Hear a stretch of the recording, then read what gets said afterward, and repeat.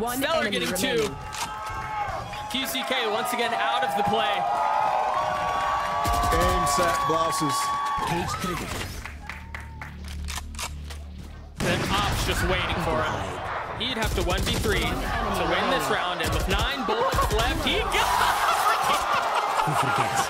I What? always good high stakes. Uh, I've been trying so hard for so many cops